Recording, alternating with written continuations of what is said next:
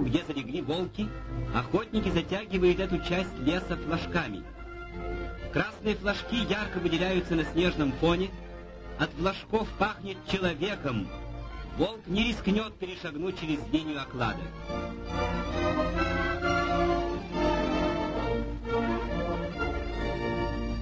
Трехкилометровый круг замкнут.